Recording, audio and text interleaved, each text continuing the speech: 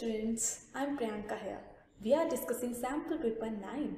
Now let's come to question 4. Why it is said that directing takes place wherever superior subordinate relationship exists. So it is clear from the question that it is from chapter directing and here you will be given one mark. Now let's come to answer. Directing, what is directing?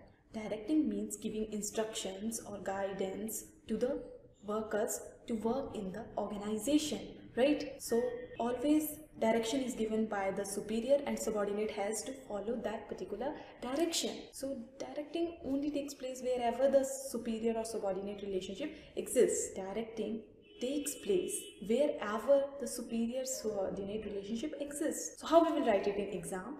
Directing can be seen at all levels of management. That is why it takes place where superior subordinate relationship exists right? Thank you